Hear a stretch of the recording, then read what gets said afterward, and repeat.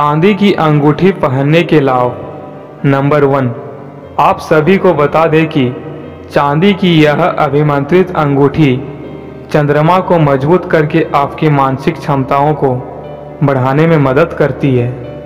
Number two कनिष्ठा उंगली में चांदी की अंगूठी पहनने से मस्तिष्क शांत रहता है और जो ज़्यादा गुस्सा करते हैं, उनका गुस्सा कम हो जाता है। नंबर थ्री अगर विधि विधान के साथ दाहिने हाथ की कनिष्ठा उंगली में चांदी की अंगूठी पहनने से शुक्र ग्रह और चंद्रमा शुभ परिणाम देते हैं, जिसके कारण खूबसूरती में और निखार आता है। नंबर फोर, अगर आप चाहे तो चांदी की चेन को भी अभिमंत्रित करके पहन सकते हैं। इससे शरीर में वात, कफ और पित्त तीनों का संतुलन बना रहता है। Number five.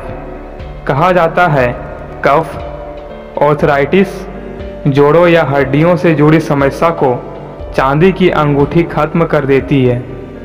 Number six. यदि आप चाहते हैं कि घर में लक्ष्मी जी का निवास हमेशा बना रहे तो फिर चांदी का टुकड़ा अपनी तिजोरी में रखें। इससे घर में लक्ष्मी का वास रहता है। Number seven.